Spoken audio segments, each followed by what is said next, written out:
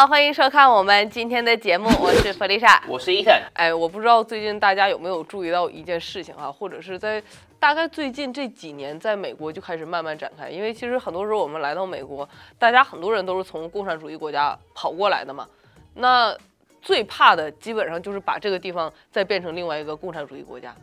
啊，所以很多人维护美国，或者是积极的参与到这一次的其中选举里面，其实有很大一部分这样的原因，就是看到我说我们正在急速的往共产主义国家那个方向去发展。可是实在是太可怕了。对，那特别是像说像台湾呐，嗯，因为我是台湾人嘛，对，很多台湾人是支持社会主义的，他们看到北欧那个样子啊，然后呢看到什么呃挪威啊、芬兰啊，然后好像就是税收很高，但是大家。活都很好的样子，然后他们觉得说，哦，那个样子好像是一个非常好的一个生活模式，政府运作模式。嗯，但是我们今天说的是，呃，真正非常可怕的，开始在美国进行的一个试验吧。好，那这个试验呢，就是在各个大城市开始进行这种叫做无条件基本收入这样一个试点计划。那这个无条件基本收入呢，英文就是 unconditional basic income。你听 unconditional，你就会觉得说啊啊，然后这个东西呢，简称叫做 UBI。那这个东西是什么意思？这个意思就是说没有任何的条件要求，没有任何的资格限制，不需要进行任何的审查，你就可以定期从政府或者是某个组织领取一定数量的金钱。那这个事情呢，非常非常糟糕，糟糕到什么程度？比政府介入制定最低工资标准这件事儿还要更加糟糕。为什么？因为政府啊介入这个最低工资标准的这个制定，最低工资就证明这人还有去上班，对吧？他上班了，他才能够提最低工资的事情。可是这个事儿更糟糕，就是什么呢？就是这个 UBI，它完全不需要有任何的工作，你就可以获得这样的钱。Yeah。那其实 UBI 这个东西，我觉得，如果我记得没错的话，就是上一次的总统大选，台湾之光 Andrew Yang 就说，呃，每个月要发给美国人一人一千块的那个东西，对，那个就是从。那个时候开始大量的被宣传，然后很多人支持他，然后很多台湾人觉得说，哦，这个东西好棒哦，真的是台湾之光啊，好有想法哦，政府可以把钱这样子撒给人民，这个是个多么好的制度啊！你看这些大公司就是赚太多钱了，我们只要合理的税收，pay their fair share。哦，pay their fair share 就是他们应该付出的一个公平合理的钱，只要这样子对大公司，然后呢就可以把。这些钱全部都分给人民，这样多好多棒。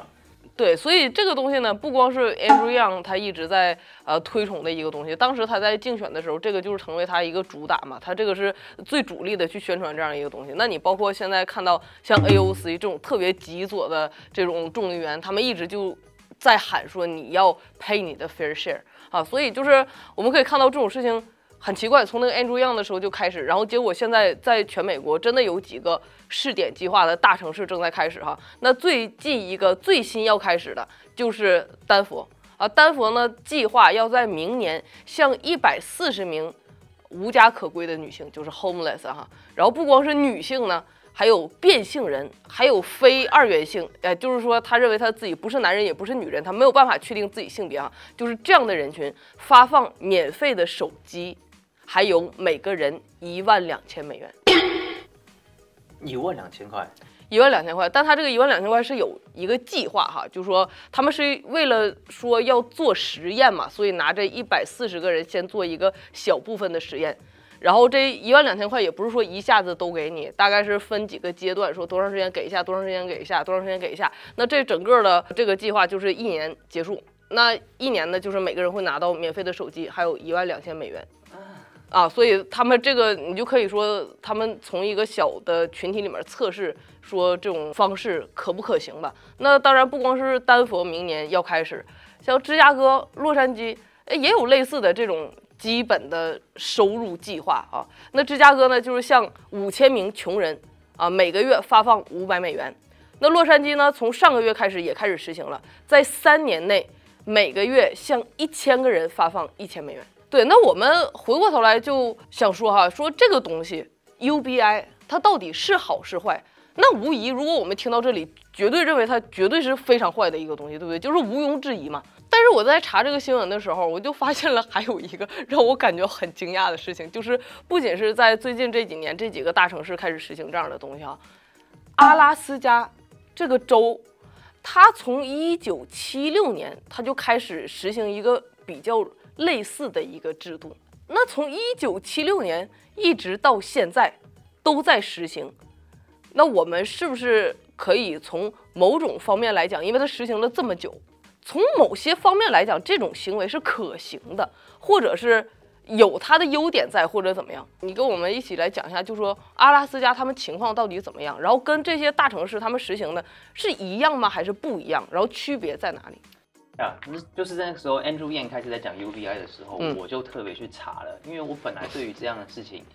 我就觉得是基本上是不可行，因为就跟我跟每次在节目上跟各位说一样，当一个东西是免费的时候，你就是那个商品。对那 UBI 这个东西就是这个样子。嗯那阿拉斯加的情况基本上是完全不同的。阿拉斯加的生活花费是非常昂贵的，他们所有的东西都必须从美国本土空运或者海运运过去。他们会有 UBI 一年大概一千块钱左右，就是住在那里的人，然后每年政府会给他们发一千多块钱这样的钱对。对对，只要是阿拉斯加的居民，原因是因为呢，政府允许石油公司在当地大量的在联邦用地开采石油，其中一个条件就是石油公司必须每年给阿拉斯加的居民一年一千块左右的补偿，每一个人。那一千块其实对于阿拉斯加当地的生活没有任何的帮助，对于美国任何一个城市也不会有太大的帮助。你说你租洛杉矶，别人多给你一千块，你可以干嘛？对，就是一年一千块，又不是说一个月一千块，一年一千块能做的事情其实非常有限，尤其我们现在面临这么多通货膨胀的时候。那阿拉斯加的人呢？他们还是要继续工作，才可以持续他们的生活。而且这一千块是以类似退税的方式给阿拉斯加的居民的，不是直接发支票给免费的钱。不只是这个样子，这些 incentive 也不是政府给的，政府是透过石油公司的税收来发给人民的。也就是说，这是另外一种偷窃，是从别人的劳力付出当中抽税来发给其他人。这边要知道，就是偷窃就是偷窃，不能因为你立了一个法合理化偷窃了之后就可以偷窃了。也就是说，阿拉斯加的这个东西其实并没有运行的很顺利，对，然后也不合理，也不合法。但是它执行了这么多年，那当地的居民也没有反对，因为你每个每一年多拿个一千块，Why not？就是怎么来说都是好事，因为大家都喜欢要免费的东西，要免费的钱，但是其实这是一个偷窃的一个行为。而且大概会造成的影响会更多一些吧。就是如果从长远来看，一个是说对石油公司来讲不公平，对吧？你既然开了石油公司，然后结果他要求的条件就是说你在我这儿开采石油，那你就是要多付这些钱拿给政府，然后政府可能以退税的方式去惠及人民。其实这种方式，一个是对公司来讲就是不公平，对吧？啊，不应该有的政府一个制衡的方式，就是我跟你 negotiate，然后你要给我什么，我再给你什么这种东西。那还有一个就是这样的话，我我在想，就是会不会影响到选举？因为人民从一九七六年开始，他们每一年多拿一千多块钱，心里乐乐呵呵的。你哪怕每一年大概免费给他一袋大米、一一个油，大家都应该高高兴兴的，对不对？但如果说要是有人这个时候在阿拉斯加站出来选举，他说我反对这种行为，石油公司就是应该拿他们应得的，然后不应该用这种方式去给人民。那这样的人，你说在那个地方会当选吗？对呀，这就是嗯问题所在。你记不记得我们那个在 interview Mitch Clayman 的时候，嗯他的竞选对手，嗯就是那个现在的参议员，他就是说每年要给这个城市一百呃五百多万，啊，他说就是如果我当选，我给你们拨款五百多万这样子。每年都编了好多个五百万过去，但是这些钱本来就是联邦政府必须要拨款给这个城市的，嗯，就是城市建设啊，还有各方面的，但是却被说成是他给的，其实他没有给任何东西，他没有花任何钱，这就是用选民的纳税金来贿赂选民，然后选民自己以为自己好像得到了什么东西一样。对，妹师那个时候的确有跟我们讲过，就这个钱本来就是给这个城市的，但这个人只不过做了一个大概往自己脸上贴金，或者是借借花献佛的这样一个概念，把本来应该拨的款就说哦是我给的，Yeah，他就不说这个钱是从你们来的，也不说这个钱是什么什么，这个钱就是我给的，所以其实这些钱跟他一点关系都没有哈。我们刚才看到说阿拉斯加这个情况跟我们各个大城市还是不一样。现在运行的这种试点计划，但是那当然了，那种行为也是完全不可取，对吧？但是现在运行这种试点行为就是更不可取。那像这种各个大城市的情况呢，包括像芝加哥呀、洛杉矶呀，还有明年即将要开始的丹佛，他们都是纯发钱。那边还有一个石油公司，啊，人家说了个石油公司说你勾谁怎么怎么样，石油公司还同意了。这边是纯发钱，就是纯用所有老百姓的税收，还有他们作为那些基金会，你说这里面有没有洗钱的事儿？一定有。铁定。铁定就是那些基金会说哦怎么怎么样啊，你知道吧？这个里面一定是很错综复杂这些东西啊。那么我们就知道说这样纯发钱呢，这种 UBI 一定会导致一些后果，包括但是不限于啊，我们会收获更多懒惰的人民。呃，像那些 homeless，其实他们有一部分了，他们其中有一部分他们就是不想工作，他们就是很享受现在这种啥也不干，有吃有喝，还能拿着钱在路边躺一躺，然后比较浪费生命的这种方式去度过自己的生命。这是其实是他们一部分人，他们是很想要这种。不只是 homeless，就像现在很多高中生、大学生，他们读书毕业出来的时候，他们就是不想工作，是那他们就是想住在家里，就是因为嗯东西是免费的，然后呃保险是免费的，就是而且政府在鼓励这件事情，就是让小孩长不大，让小孩没有办法自制的能力。你想想看，前一阵子不是那个英国女王死掉吗？对，英国女王十六岁的时候就开始要跟全国人民讲话，二十一岁的时候，她就要跟所有的人讲说，我很有责任，然后我要代表这个国家，我会把我这一生怎样怎样怎样怎样。二十一岁的时候，她就要做这样的事情。我们现在的二十一岁的年轻人，most immature people we ever seen。对，就是每一个都是超级不成熟，然后每一个都是受害者心态，然后每一个都是自己没有目标、没有生命的这样子活下去。就像七八岁的那种小孩的状态一样。因为什么？因为他们现在真的说白了，生活条件太好了，爸妈太努力了，房子房子不用买，车子车子家里已经有，什么都有。去了超市爱吃什么吃什么，回家饭给你做好，冰箱一打开什么都有，有手机有电脑，满脑子想的谈恋爱，一点正经事都没有。啊，所以这个就是我们现在收获的这个年轻一代的年轻人，大多数的年轻人现在是变成这个样子，而且全都被家长惯坏了。Yeah，然后他们觉得这些好处是他们应得的，因为他们从小就觉得这些东西是应得，然后他们从小这些东西都是免费的。是，那这样呢，就导致我们收获懒惰的人民，懒惰的下一代。那你说这样的话，这个国家长远来看会不会好？绝对不会好，都不用说特别长远，十年、二十年，这个东西马上就显现出来。好，那第二个一个导致的特别严重的后果就是经济的崩溃以及通货膨胀，这个是没有人想要要的东西。但是大家在拿到免费的东西时候都特别开心。你想想，你拿那个疫情纾困金的时候，每个人拿一张就说：“哎，太好了，我还等着下一次。”然后太好了，我还等着下一次。每个人都拿这个钱，所以这样换来的就是什么呢？就是经济的崩溃跟通货膨胀。你说我们现在承受的这些通货膨胀，我们全需要 pay back，我们全需要交回去。对，那其实通货膨胀是什么意思？就是钱过多，然后商品太少，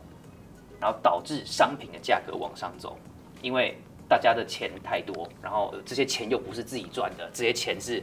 免费的，那他们就可以乱花。那当商品太少的时候，然后金钱过多的时候，就是商品会涨价，然后金金钱会贬值，这个是常理。但是所有政府的计划都是来造成这个样子的结果的，目的就是要让人民越来越没有能力来去维持自己的财产。你本来银行账号里你存了一辈子的钱，然后呢，你打算要买房子，但是现在通货膨胀了，房价变高了。你看像 Arcadia，我当时来美国的时候，嗯一个一万尺的地址要二十四万哈，啊。一万尺地只要二十四万呢？呀那时候我们就在找二十四万啊，你在有时候在报纸上还会看到，就是二二十四万，然后一万尺的地，但是那房子就是很烂很烂之类的。It's okay，你只要把地买了，你把房子推倒，我重盖还不行吗？造成经济崩溃的人，造成通货膨胀的，通常就是政府的这些政策。嗯，政府的无限在那边乱用金钱，然后在那边打这样子没有必要的贸易战的时候，就是会造成我们的经济崩溃。而且还把人民哄得乐乐呵呵的。大家你看，哎呀，发钱了多好！但大家只看到钱，只看到一张张钞票，但是没有注意到说这个钱的价值还在不在。如果这个东西没有价值了，或者它价值变得很低，那你要它干嘛？你如果说知道接受了之后会造成这样一个后果，那没有人想要造成这样的后果。对，那还有一个就是导致的一个非常直接的后果哈，就是人民会过于的依赖政府。你说这些人他得到了 UBI 的好处，他会不会天天等着呀，月月等着呀，盼星星盼月亮啊？这一年过了一万二，下一年能不能变成两万四啊？可能明年这给啥钱我都计划好了，你知道吗？我要买这个，我要买那个，人民就会过度的依赖于政府，那就会导致政府的权力过大。这个没有任何的那个怀疑的点哈，就是你过于的依赖他，那他就是掌握了更多的权利，他就可以做更多他想要做的事情。人民会依赖政府。唯一的原因就是因为人民没有自治的能力，人民没有呃自我管理的能力。在建国国父 John Adams 那时候就讲说，呃，唯一可以保障我们不是奴隶的方法，就是我们自己可以强壮。嗯，呀，这个东西是非常非常基本的一个东西。很多政府现在会给你很多福利，然后会给你很多的这个呃。优惠说什么？你现在可以做这个，你大学免费，你租房免费，你这个什么东西免费？但是各位如果看清楚的话，就以这一次我们给 Ukraine 的钱，嗯，你就可以知道，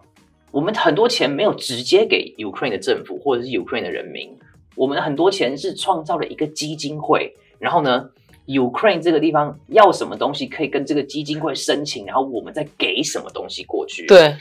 ，Ukraine 没有。资格来去直接使用美国人、美国纳税人给的钱，这一切还是在民主党的控制下。他们要洗钱啊，各方面的话就可以透透过这个样子的方式来去做，然后还觉得说自己在做一件好事。Ukraine 这个地方呢，还是什么弹药不足啊，然后什么 ration 不足啊，然后呢，人民还是什么这个不懂，这个不够，那个不够。我们丢的钱是可以打败什么样的国家的这样钱，几亿这个样子丢的东西，但是。他们没有办法享了享受到这个样子，嗯，但是他们没有办法得到这个样子的帮助，实质帮助，因为他们根本就没有办法使用这些权利跟这些金钱。那他们到现在呢，就只能更依赖美国政府来去呃帮助他们去做这些东西。在这个补助的过程当中，他们失去的就是他们自己的国家的自主权。那还有一点呢，就是我们看到民主党一直在做的事情啊，就是他把人分门别类。啊，分门别类说谁可以领这些钱，给这个搞不清楚自己性别的那些人，就是现在 woke 他们正在那个 promote 那些东西啊，什么那个男变女啊，女变男的 transgender 啊，我不知道我是啥呀，然后我可能又是男又是女呀，我今天是男，明天是女啊，就是这样的人群哈，他让这些人群有这样的资格可以领这些钱啊，那我们就知道绝大多数左派政府呢，用这种分裂阶级分裂的这种方式，让人们。之间这个彼此仇恨或者彼此对立哈，就是往你身上贴一个标签，就是说你就是这一类的人，你要接受这样一个身份。那所以这些人呢，很多时候他们就欣然乐意的就把这个身份给接受了。那接受了之后，他们也完全接受自己是受害者的这样一个心态。对，其实 UBI 的其中一个最主要的原因，就是因为。他们可以控制这些人，嗯，因为他们掌握了这些资金，还有这些资源，然后他们可以用这个样子东西来压迫其他的人。那我有一个，我最近跟一个朋友吵架，就是他是一个，呃，他他认为希特勒是一个很好的人，然后他认为德国纳粹是很好的人，他认为他搜刮了那些呃犹太人的这些金钱啊，各方面是因为他战胜了那些犹太人，他战胜了敌人，然后呢？他就可以合理的使用这些钱，这是一个非常病态的一个想法。然后他自己称自己为右派，然后呢很爱国的一个人，他觉得美国也应该要这个样子。其实这所有的事情在做的事情，就是创造一个特权政府，一个特权政策，一个呃 oligarchy。嗯，所有的人都必须要跟政府同样的心态，然后同样的目标的时候，你才可以得到这个福利。就跟墨索里尼写那个法西斯宣言一样。他就是说，任何人必须要在国家机器里面。你只要不在国家机器里面的话，你就是有害的，你就是被要要被清除的。那现在美国这些很多政策就是在创造这个东西，那 UBI 就可以得到达到一个最好的一个效果，就是你一定要依照我的方式来活，一定要依照我的方向来去做，不然你就是被清除。UBI 就是可以造造成这个样子的一个情况吧。嗯，那这就是为什么他们会利用这些族群，然后告诉他们说，一直他们都是受害者，各方面的目的其实只是为了达到这个样子而已。啊对，那还有一个。我觉得是很严重的后果，而且让这个流浪汉的这个问题永远都没有办法得到解决。就是这些人没有办法得到他们真正需要的帮助。很多时候我们看，呃，就是你说政府啊，给这些流浪汉钱也好啊，或者是很多时候那个教会就是大发爱心，就说哦，我们去给流浪汉送些饭，或者送些三明治，或者送些什么让他们吃饱。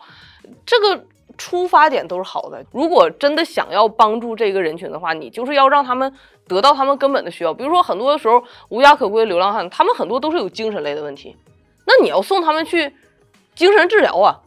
他精他精神不好，他就只能在路边一直躺着。你把他送到那个精神治疗的地方，你让他吃药，你让他干嘛，他才能够慢慢的 restore 他的这个 mind，然后他才能够慢慢的回到社会去行使一个人类在社会里面正常都应该享有的这些东西。你如果你把一个精神病一直丢在街边。然后你一直给他钱，你一直给他吃的，你一直给他吃，那他永远都是个精神病。如果他得不到治疗的话，他永远都没有办法回归到正常的族群里面。啊，那那还有很大一部分人吸毒。吸毒这个基本上是应该是最大的群体吧，在流浪汉里面，吸了毒之后他就神志不清醒了，你知道吧？他就是人多么坚强的意志，基本上都被崩塌了。他每天不想什么别的，所以你就会看到说很多流浪汉在什么街边大小便这种事情都干出来。为啥？他吸完毒，他迷迷糊糊，他啥他也不知道了。那你不帮这些人戒毒，你反而给他们更多的钱，让他们用钱去买毒品。然后你让他们用更多的钱，可以拿这个钱去找黑帮买枪，这就导致了一堆吸完毒的神经病在街上枪战，你知道吗？这是多么可怕的事情呀！那这不是说你给他一个三明治，你给他一些钱，这就能解决的问题。那包括你说。像 UBI，那政府就会跟美国人说：“哦，你看我们在做好事啊，对不对？你看这些人多可怜啊，我们就是给他们一些钱吧，好不好？大家愿不愿意？”然后大家就热泪情况说：“愿意，因为他们也是美国人，我们愿意帮助。”但问题你就是怎么帮助？这几天在找新闻的时候，我看到了一个新闻，我上面没有讲，但是呃，就是发生了在费城那个地方，嗯，就是一个老人，一在他在他在 homeless 呃 Philadelphia 的 homeless 里面那个公园里面。他说：“现在的问题就是太多爱心了，嗯，然后太多资源了。”他说：“为什么那个 Philadelphia 那个公园里面会有一堆老鼠？然后就是那种很大很大的那种老鼠，就是因为太多的。”他说：“每个周末有三四间教会去那个地方，然后这边发三明治啊，发那个。”那这个东西都是他们每一次给的都是一天的食量啊，然后呢，三四间的这个教会，然后还有什么慈善机构去那个地方发，那每个都在做同样的事情，然后没吃不吃不完啊！你说一个人你拿了大概三四盒一天的食量的时候，你第一个你吃不完，你也不会珍惜，对，就丢啊，到处乱丢，然后拿去喂鸽子啊，然后喂什么在那边就有一堆老鼠？他说。最主要原因就是因为每一个人都在做类似的事情，他们去做这些善事的目的，不是为了要做真正的善事，而是他们只想要在 Instagram 上面拍照。只想要在 Facebook 上面那个跟别人说，你看我有做多好的事情，就反正是感动了自己吧。但是这个事儿呢，你说你又花钱又花精力，你没打到真正的痛点上面，你整了半天就是感动了自己。你看我做了多好的事儿，你看我是多好的人呐。对。然后这些人的钱，为什么他们敢去做这些东西？他们知不知道这些东西浪费？他他也都知道，有没有人跟他们说这东西浪费？他们也都有说。就如果说你第一间教会去了，全部都发完了，你第二天到那儿了，你就发现，哎，这些人怎么都吃上了呢？所以二三四后来去这些人应该都知道他们在干什么。对，那问题是为什么他们还可以每个星期这样去做？嗯，因为那些人的钱，因为发出去，然后买这些人的食物的钱，不是他们的钱，嗯，是。大家的捐款，对，是他们每个十一奉献，然后教会说要去宣教的钱，是很多教会其实都在做这样子浪费钱又浪费时间的事情，就是他们在给一堆没有必要的东西，没有，然后把呃教会的资源这样子没有必要的给出去，像我们这样子真正需要真真正没钱的，反而没 反而教会理都不理，因为他们不会得到什么 Instagram picture，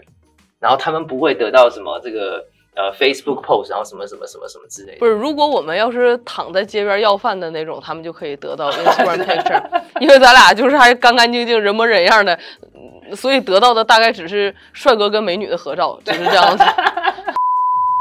非常了解，每个人都想做好事儿哈，但是很多时候我们就是要知道这个好事儿到底要怎么做，你得做真正好的好事儿，而不是做让自己心里舒服的好事儿，那不叫好事儿，对吧？如果要帮那些人的话，你是要给他们工作，你不是要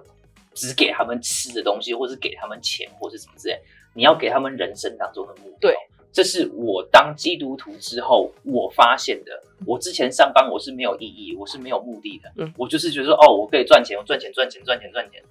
但是我发现我自己人生没有目标，没有意义。那直到说我得到我人生的意义还有目标的时候，钱再少我都愿意去做。嗯我觉得这就是一个有意义的人生跟没有意义的人生的差别。对他们的人生既然没有意义，然后你又一直给他们，就是至少要让自己温饱是一是一个人生意义的话，他们还会要要去工作。如果你连把这个的危机意识都驱走的话，那他就真的就没有任何人生意义了。他们就真的永远只能当 homeless，你就真的永远只能用 UBI 来去养他们。啊，那这个最可怕就是它摧毁人的意志了。你这种东西其实就是类似于一个精神毒品的东西，就是给钱的一个，它让你活着没有办法活出你人生的目标，它让你活着没有办法去承受神给你的呼召，它让你活着没有办法。走上神给你预备好的一个特别丰盛的命定，对吧？所以很多时候我们呃，对于这种政府的这种方式，像是什么免费发钱，或者是故意用错误的方式去继续的让这些人变得越来越差，让这些人越来越没有办法跟社会融入在一起，让这些人越来越没有办法跟这个自己人生的目标进行一个结合的时候，那我们应该有的态度是什么？就第一点要非常明确的一点，就是我们自己勤劳的双手一定会创造出来的生活会更好。要知道，政府给钱，他不会给太多的钱。你像这种试点计划，一年也才一万二，一年一万二够吗？大概租房子钱都不够，对不对？但是如果说你要是在街边住个帐篷，那够了啊。但是你租房子是不够，所以要知道是政府不会给太多的钱。你像之前我们在 pandemic 的时候，我们收到纾困金，说实话也没有特别多，嗯，六百块钱呢，一千块钱呢，就是这个样子啊。他给就是给的一个非常低的水平，但是你要知道，神给你这个大脑，神给你这个身体，神给你这个双手，你完全可以创造出非常好的生活。你所有看到这些企业家，你所有看到路上开的这些饭店，或者你哪怕是看到自己的父母、自己的邻居哈。没有一个人是说他真的天赋异禀，他一生出来什么那个三岁打水，五岁劈柴，七岁就开始做生意，九岁纳斯达克公司就上市，没有这种事情。其实我们都是差不多的，对不对？我们都是差不多的。上帝给我们每一个人都有非常独特的天赋，每个人都不一样，好好使用，好好发挥，坚持努力啊！这不需要等到政府施舍。我们完全有能力去给我们自己靠着神的恩典，我们有非常好的生活。所以这一点是我觉得是非常要明确的，就是每个人要有这样一个特别坚固的信心，就是上帝没有亏待你任何，他对每一个人都是完全平等，别人可以，你也可以。对啊，嗯而且政府利用 UBI 来去摧毁一个族群的人是，是在美国就可以找到类似的这个东西。对，就是我们的印第安人就是这个样子。长年以来，我们为了说什么要补偿印第安人，然后我们就不断的给他们钱，讲的非常好听，就是我们要帮助这些印第安人，我们要帮助这些人，然后来开始他们呃可以可以可以自己去创业，可以自己去做什么东西，然后呢，我们把我们的资源给这些印第安人，同时是给他们补偿，然后同时是让他们呃可以找到自己人生的方向。嗯，